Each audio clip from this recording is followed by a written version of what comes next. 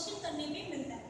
Okay plastic जो है Greek word से डिराइव किया गया है और ग्रीक वर्ड से है।